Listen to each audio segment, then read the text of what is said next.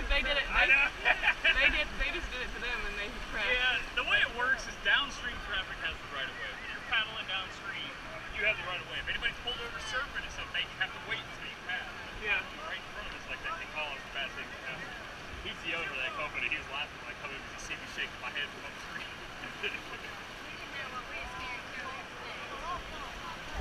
Do you want to trade? Since we got here first, we're kind of setting the safety right now for our boats. Uh, this is double suck. This is the surf on side. What we do, guys. is We'll paddle up into it. Right before we get there, I will tell you to get down. Uh, just leave the forward button, four paddles in the air. Really, not a whole lot to it. Uh, but just in case should something happen, we're gonna have somebody sitting here where we are setting safety. If you were to fall out, it's very easy to swim over here.